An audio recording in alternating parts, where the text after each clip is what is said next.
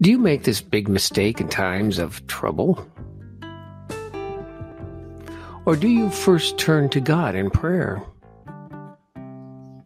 Watch the amazing lesson Joe learned when he got fired almost on his first day at work.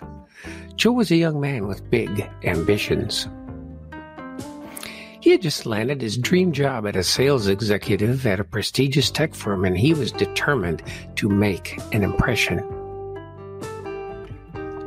It was his first day on the job and he was eager to prove himself. Unfortunately, his first day did not go as planned. Nothing seemed to go right. His boss was getting impatient. It seemed like he was going to get fired on day one. Desperate to turn things around, Joe remembered something his parents had taught him growing up. They had always made time for prayer and encouraged him to do the same, even in times of hardship. Joe was skeptical at first, but he decided to take matters into his own hands and give prayer a try. Joe closed his eyes and started to pray. Dear God, I feel so overwhelmed and lost today. I want so badly to do a good job and make an impression, but I'm afraid I won't be able to. I need your help.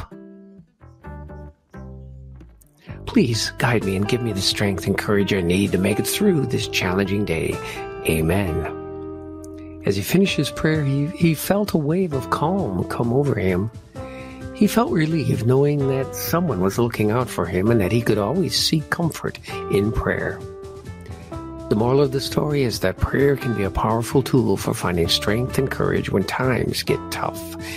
It is a reminder to never give up and to turn to God in times of need. Like my video today?